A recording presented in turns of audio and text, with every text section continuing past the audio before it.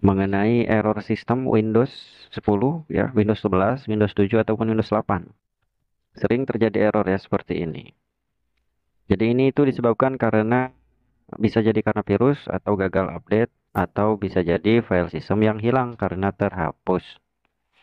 Oke lah, kita restart dulu laptopnya ya. Anggaplah ini laptopnya di restart. Nanti dia akan muncul seperti ini ya. Error kode 0xc00005 ya ini sering terjadi ini.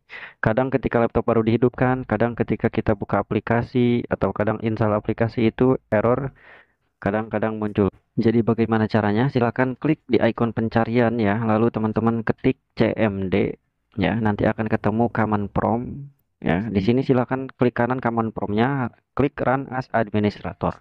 Harus ya harus run administrator nanti akan muncul tampilan layar hitam seperti ini. Silakan teman-teman ketik SFC ya ketik SFC spasi garis miring lalu scan now ya. Harus sama. Tinggal enter saja di keyboard ya. Nanti akan ada keterangan seperti ini dan proses penyekenan file system eh, di laptop kita Nah, ini itu teman-teman tinggal tunggu saja sampai 100% biar sistem yang mengecek eh, kerusakan atau korup file-file sistemnya ya. Nanti akan dikasih tahu di sini errornya apa, nanti kalau misalkan sudah diperbaiki apa belum ya. Nanti dikasih tahu sama CMD ini. Ya, kalau udah 100%, ditunggu saja di proses ini ya. Ini kita videonya percepat aja atau misalkan teman-teman lagi buru-buru boleh videonya di skip-skip boleh di sini ya. Hmm. Sebenarnya ini fitur CMD SFC Scannow ini ya fungsinya itu dia mengecek keseluruhan file sistem, mencari file korup gitu dan memperbaikinya secara otomatis. Itu kalau misalkan korup atau errornya yang ringan. Ya. Biasanya kita eh, hanya menjalankan ini, errornya itu hilang, nggak muncul lagi. Nah, ini udah 100% ya tapi keterangannya seperti ini. Tidak menemukan artinya dia nggak bisa menemukan yang error ya. Tapi biasanya di tampilan ini tampilannya berbeda. Kayak misalkan kami sudah menemukan file korup dan sudah memperbaikinya kayak gitu ya. Nah ini cara yang pertama ya. Cara yang pertama. Cara yang kedua kalau misalkan cara pertama nggak berhasil misalkan masih muncul errornya ya Silakan teman-teman ketik di kotak pencarian ini RSTRUI ya. RSTRUI. Silakan klik kanan Run as Administrator. Nanti akan muncul tampilan seperti ini. Jika misalkan di file sistem laptop teman-teman bisa di next, silahkan next saja. Tapi sebagian laptop nggak bisa di next ya. Kalau nggak bisa di next berarti tidak bisa menjalankan sistem restore ini. Artinya harus apa? Harus reset Windows. Oke, di sini nanti akan ada pemberitahuan tanggal-tanggal ya. Biasanya ke bawah lah ya. Nah, di sini silakan teman-teman pilih tanggal sebelum laptopnya error, lalu pilih next ya. Lalu klik finish. Artinya apa Mas? Ini sistem restore. Jadi sistem restore ini artinya dia memperbaiki sistem ke tanggal sebelum error. Artinya mengembalikan eh, keadaan sebelum laptopnya error. Jadi diingat-ingat tanggal berapa si laptopnya error itu ya.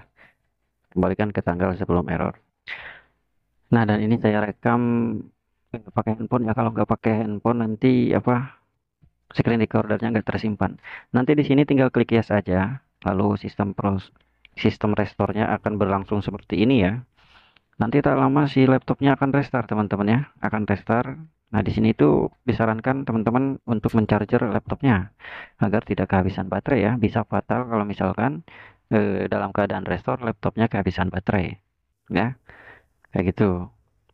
Nah dia akan restart teman-teman. Bukan mati ya dia restart seperti ini. Jadi di sini itu teman-teman hanya perlu menunggu saja. Yang suka kopi ya sambil ngopi. Yang suka ngerokok ya sambil ngerokok. Yang suka makan ya sambil makan ya. Kayak gitu. Nah untuk proses sistem restore itu berapa lama mas? Jadi tergantung ya. Ada yang cepat ada yang lambat. Apa bedanya mas? Jadi kalau misalkan laptopnya prosesornya bagus ya cepat. Atau misalkan prosesornya yang standar ya kurang lebih sekisaran paling lama itu dua jam ya paling lama. Paling cepatnya 15 menit paling cepat 15 menit. Tapi biasanya sih laptop-laptop sekarang kan udah cepet ya karena udah pakai SSD gitu ya. Biasanya cepet 15 menit gitu 10 menit sampai 15 menit beres ya.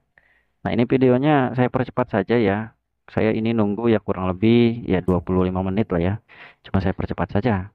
Nanti tak lama ketika sistem restorenya selesai dia akan masuk ke Windows seperti ini. Nah ya. Nah sistem restorenya akan berketerangan seperti ini. Sistem restore komplit ya. Komplit sukses kayak gitu. Berarti sistem restorenya sudah selesai nah dan sudah bisa dilihat ya si errornya itu udah nggak muncul lagi. Si error 0xc 00005 itu sudah tidak muncul lagi ya. Berarti sudah teratasi